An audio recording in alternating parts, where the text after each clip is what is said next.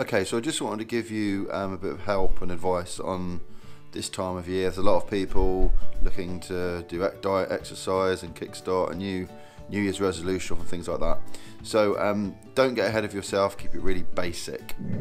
So tip number one, um, I would suggest that you get all the crisps and all the chocolate or anything you have left over from Christmas uh, relating to snacks and things like this and just clear them out.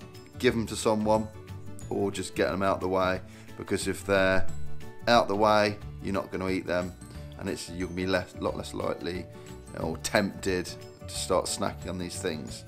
So remove all the junk food from your house. Okay, tip number two is clear out your fridge. Now it's slightly related to tip number one, but do it as a separate exercise if you like. Go to the fridge, clear out your fridge, get it all in order so there's nothing in there that you've got left over from Christmas that you're likely to snack on. Make it nice and clean, give it a clean out, and it's very therapeutic as well.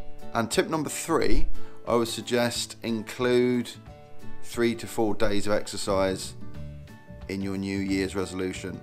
So it doesn't have to be going to the gym. Don't think about it as um, something you really don't want to do. Try and make it something you do want to do. So if you like walking, if you like cycling, just try and incorporate three to four days, if you can, of activity or exercise to get your heart rate up, to burn a few extra calories, and also very good for your uh, mental health as well. Getting out in the fresh air gets the endorphins going. It will certainly, certainly help. And finally, tip number four is just increase your water intake.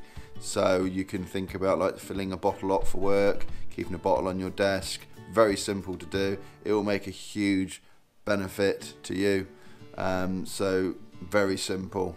Buy a water bottle, fill it up, carry it around for your work, have it on your desk. If it's your day off, keep it at home, and just keep that water intake nice and high. You'll feel a lot better. Keep yourself hydrated. Okay, so very simple tips. You can implement these pretty much straight away. Very simple. Um, keep it basic and you'll feel so much better if you're doing these tips.